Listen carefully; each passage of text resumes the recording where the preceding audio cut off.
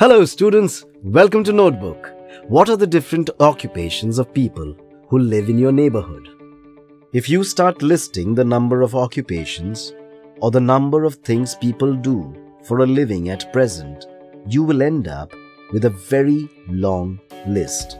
Starting from plumbers and gardeners to engineers and teachers, people of many different professions and occupations probably live in your neighborhood. Sometimes the same person pursues or follows a number of occupations to earn enough money. They might also pursue and turn their hobbies into occupations. A person who distributes newspapers in your neighborhood in the mornings may drive a cab in the evenings. The school teacher may also run a bakery and bake cakes and cookies on weekends. Around 2500 to 3000 years ago, what occupations did people in the villages have? Of course, they did not have half as many options or choices that we have today. In most villages in the northern and southern parts of India, there were at least three kinds of people. In the Tamil Nadu region, large landowners were known as Vellalar. Ordinary ploughmen were known as Uzhavar. Landless laborers or workers and the slaves were all known as Kadaisiar and Adimai. In the northern part of the country, the Grama Bhojaka was an important person. He was the headman of the village. Often, people of the same family became Grama Bhojakas. That is, a son succeeded his father as the Grama Bhojaka. This means that this position was hereditary. The Grama Bhojaka was usually the largest landowner of the village. He had slaves and workers who worked for him and cultivated his land. The smaller landowners and the independent farmers in these villages were called Grihapatis men and women who did not own lands but worked on others' lands were known as Dasa and Karmakara. Potters, blacksmiths, weavers, and carpenters also lived in these villages. Farming was a very important profession. As many people began to take up farming, they had to increase the production of crops.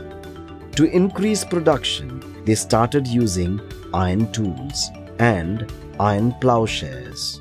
They also improved the irrigation system or the water supply to the crop fields by building canals, wells, tanks, and artificial lakes. We have just talked about life in the villages 2500 years ago. How do we find out about life in the cities? The stories known as Jatakas were written down and preserved or kept by the Buddhist monks tell us about life in the ancient cities of India. These stories were composed by the ordinary people of India. The sculptors carved scenes which described the daily life in towns. Their sculptures decorated pillars and gateways of buildings. One of the most unique or special archaeological discovery was the ring well. Rows of pots or ceramic rings were arranged on one on top of the other in many cities. These pots and rings were used as toilets, drains, and garbage dumps in the houses of ancient cities. Accounts of sailors or travelers who visited the ancient cities of India also tell us about life in the cities. A Greek sailor described all the ports he visited in India. He provided a particularly bright description of the city of Bharuch. Bharuch is a city located at the mouth of the river Narmada in present day Gujarat. Another speciality of the age was the punch marked coins. These coins were usually rectangular in shape and made of metal. The coins were not inscribed but stamped with symbols using dies or punches. These coins were used and circulated for about 500 years. Apart from buying or paying with coins, people of one region exchanged objects with people of another region. People who grew paddy in the fertile plains could exchange their paddy and get salt from people who lived near the sea. A lot of salt was produced along the sea coast. Some towns or cities in India were centers of various important activities. One such city was Mathura, which was an important center of trade and commerce, travel, religion, and sculpture. Mathura had Buddhist monasteries, Jaina shrines, and many worshippers of Krishna. Inscriptions made on stone slabs and statues have also been found in Mathura. The kings, queens, officers, craftspersons, and merchants who lived in the cities made these inscriptions. They recorded the gifts made by men and women to monasteries and shrines. The inscriptions tell us that goldsmiths, blacksmiths, weavers, basket makers, garland makers, and perfumers lived in Mathura. Only the archaeological remains of some of the crafts of this age have survived. Most of the crafts have not survived. Manuscripts or written texts tell us that Varanasi in the north and Madurai in the south were famous for producing cloth. The craftspersons and the merchants formed groups or associations called shrenis.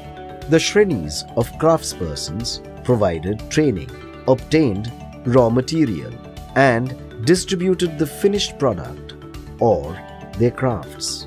The merchant shrenis took care of the trade, that is, the buying and the selling of the crafts. The shrenis also served as banks where rich men and women deposited money. We find remains of different kinds of pottery from this age. The northern black polished ware or NBPW was found in the northern part of the subcontinent. The NBPW was a hard, wheel made, metallic looking ware with shiny black surface.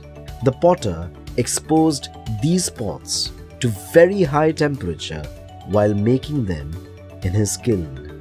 So, the surface became shiny black. Other types of pottery have been found in Arikamedu, in present-day Puducherry, in southern India.